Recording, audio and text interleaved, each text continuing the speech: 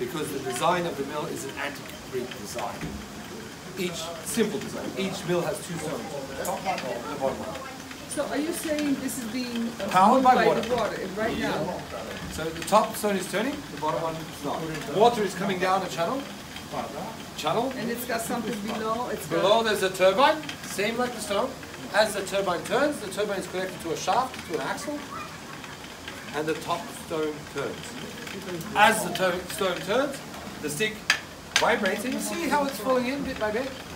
The corn's falling in. They're a concave shape, the stones, and we're getting our corn flour here on the side. And this would be... No, that's corn. Corn, it? corn, we're making polenta. Uh, corn easier. Uh, it's easier, uh, it's a larger grain, and these stones are for larger grains. This is a type of granite. In front of every mill, we have this little lever there. Uh, with that, I can I can make the gap between the two stones larger, smaller. Larger, it, it, it will go faster, but then the flour is more coarse. Uh, slower, more finer. It depends on what you wanted.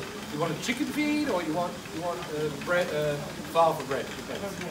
And I've been told if you're going to make bread, the heart of the of the, of the of the grain is used for bread. The center of it. So this out, outer outer you sieve it, you filter Sift it, sift it. Yeah, sorry, sift it, and you use the heart to make uh, uh, bread. Around about 60 kilograms in one hour, full speed. Wow.